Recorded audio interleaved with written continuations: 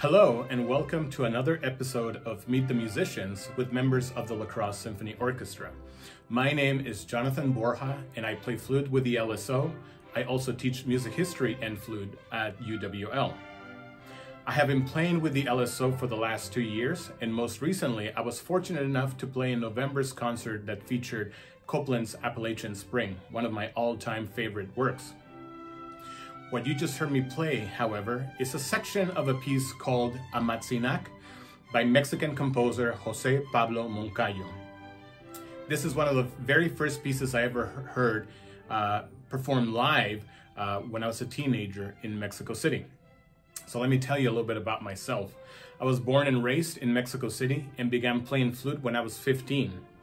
I studied at the National Conservatory there, and then I came to the States where I studied uh, in Illinois, and then at the Conservatory of Music of the University of Missouri, Kansas City, where I earned my master's in flute, my master's in music history, and my doctorate in flute performance.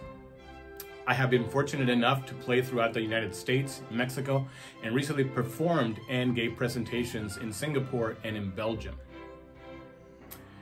Since this month's theme is international, it seemed appropriate for me to play this selection from Amatzinac, as it is a work that I'm currently performing but also researching. The name Amatzinac is a word that comes from the ancient Aztec language Nahuatl, and it literally means paper river. It is the name then of a river just outside Mexico City, which runs between the two volcanoes just south of the city. Moncayo, the composer, was an avid mountaineer, and it is likely that he named the piece after visiting the area uh, during a hike. In this piece, Moncayo avoids the use of tonality. In other words, the, the piece is not in major or in minor. This is a very Western musical tradition thing to do. Instead, the piece is modal, which gives the piece a more universal appeal. Another appealing aspect of the piece is his choice of solo instrument, the flute not only because I'm a flutist, but also it is one of those instruments that, as we'll see next, uh, can be found pretty much everywhere around the world. So for instance, if we were to go to Asia, we would find a Chinese flute that may look like this. Or if we were to go to Japan, a flute like this. And in India, a flute like this.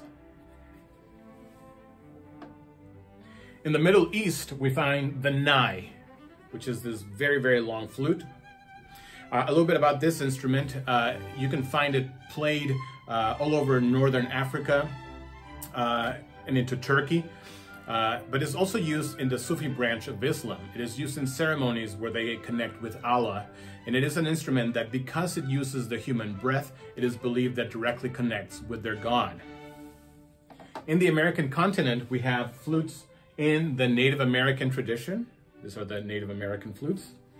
And further south in Peru, we find the pan flutes. And this is uh, one from Peru that's falling apart. But you can see that we're used to seeing them with two rows. And, and the reason there's only one here is one of my favorite reasons, is that what happens is you buy the set of two in some parts of Peru, and uh, you in order for you to play a melody you have to play it with one of your friends. So you actually need to have that element of uh, connection with someone else to do this. To end i will play for you a short piece for solo flute by the danish composer carl nielsen. It is titled the children are playing. Thank you for joining us virtually this season and hopefully we'll be able to meet again and make music together soon